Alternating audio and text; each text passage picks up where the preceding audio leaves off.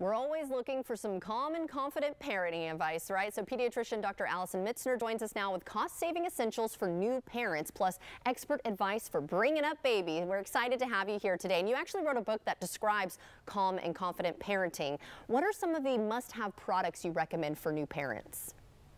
Well, I really wanted to give parents um, information and tips that they can use to help them feel more calm and confident and not stressed so they can really enjoy their parenting and their journey as a mom or dad. Uh, one of the things that I often get asked about is what am I going to wash my baby's clothes with? Do I need special detergents? And you do really want to look for something that's gentle on the baby's skin and hypoallergenic. Um, Arm & Hammer, a trusted brand, recently introduced their detergent, which is great because it's really tough on baby stains and gentle on the skin. And you know, you'll have a lot of diaper diaper oxidants, introducing solids, so that it's really great on those stains, um, and it's really safe um, safe ingredients. No preservatives, no dyes, no phosphates.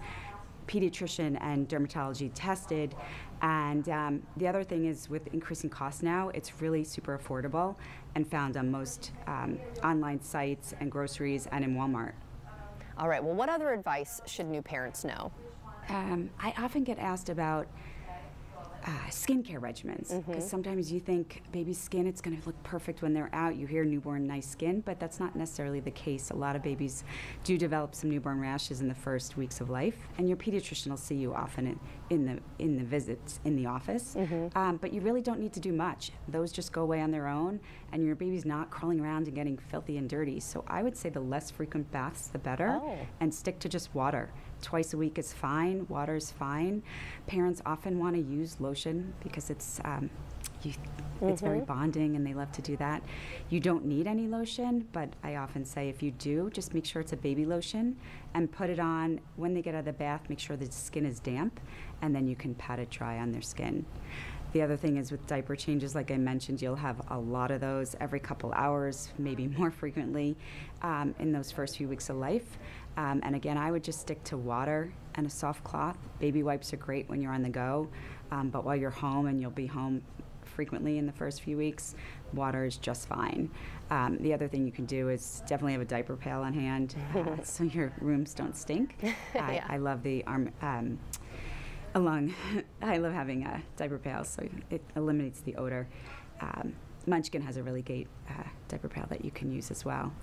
Um, and then a bedtime routine. Mm-hmm. If parents ask about that, can you get them on a schedule? I would start as soon as you can. Um, get them on, whether it's bath, book time, bedtime, or on a really good sleeping schedule um, in the evening, even if they're getting up frequently throughout the night. Start right. on those good sleeping routines. Well, before we go, do you have any last minute musts that parents should know?